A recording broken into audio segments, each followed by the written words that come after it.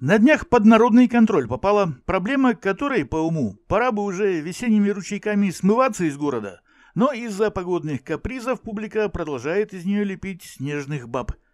Незаконные снежные свалки стали поводом для очередных выездов добровольцев проекта «Народный контроль», после того, как на онлайн-карте нарушений Свердловской области обнаружилось изрядное количество жалоб граждан на нарушение закона, связанные именно с этими стихийно возникающими горами из снега на городских окраинах.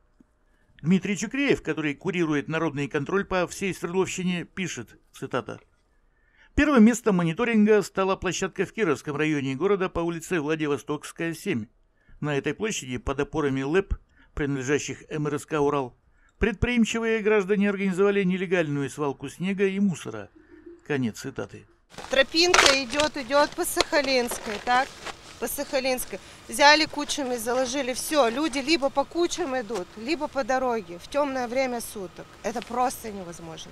То есть сколько я не билась, сколько я не... Да, просто поставьте здесь непосредственно какие-то вот не знаю, чтобы КАМАЗы сюда не ехали.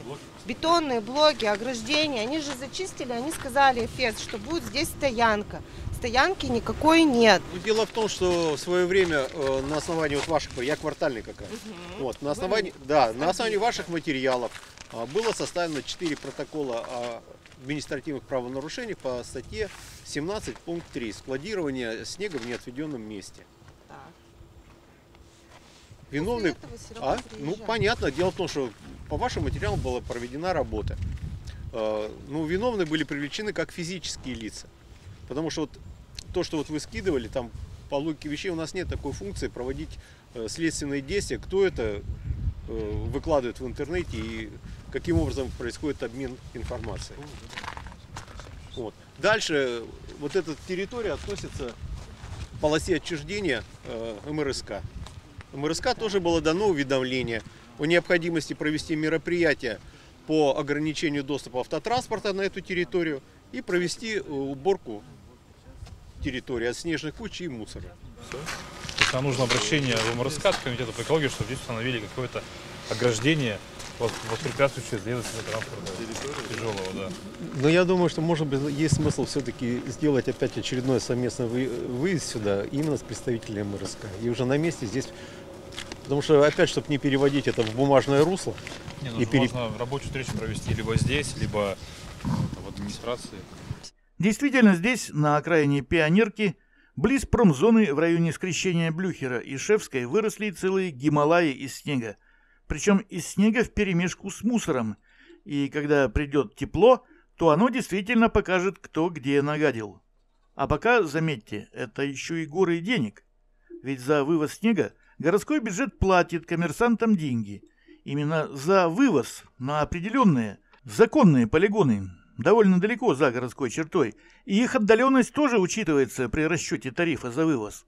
А эти жулики из одного места в городе везут снег в другое место, тоже в городской черте, банально воруя деньги горожан, уплаченные за то, чтобы вот этого вот всего в их городе не было совсем, а не перекладывалось бы с места на место. Ну это по сути мошенничество в масштабах Эверестов и Альп из снега. И точно такую же картину обнаружили народные контролеры при выезде в железнодорожном районе по адресу Тагильская, 13, где снежный ком начал расти с декабря. Причем водителей, которые здесь незаконно испражняются, уже не раз словили и наказывали, штрафовали. А надо, видимо, бить не только по карману, потому что им это до бедра и ниже. И они приезжают вновь и вновь нарушать закон, причем совершенно в наглую они сваливают где попало. Находят свободный пустырь, ставят туда свою машину, как нелегальные парковки, собирают деньги по примерно по 500-700 рублей с машины и сваливают снег на неразграниченные земли, на земли частных лиц и так далее. Тем самым, конечно, нанося колоссальный вред э, природе, нанося э, вред э, почве, потому что рядом находятся всякие различные строения, жилые массивы, э, дачные дома, это все подтопление и, конечно, это грязь. Что делать со всем этим на импровизированном совещании с выездом на природу, решали участвовавшие в рейде представители ГИБДД Екатеринбурга, инспекции по охране окружающей среды, Комитета по благоустройству мэрии, Комитета по экологии, а также квартальные инспектора. Это не просьба о финансовой помощи, это призыв сохранить остатки честной и патриотической журналистики на Урале. Если хотите 9,5, как раньше, жестко, метко, хлестко, без соплей, то помогите нам. Станьте нашими спонсорами. Сила в правде, и мы ее постоянно показываем. Поэтому, если кто-то сможет в это тяжелое время найти небольшую сумму для новостей Шеремета, будем благодарны и отработаем сполна. Просто нажмите в нашем профиле кнопку «Спонсировать» и следуйте дальнейшим указаниям и инструкциям на экране. Заранее спасибо, ребята. Вместе мы выстоим.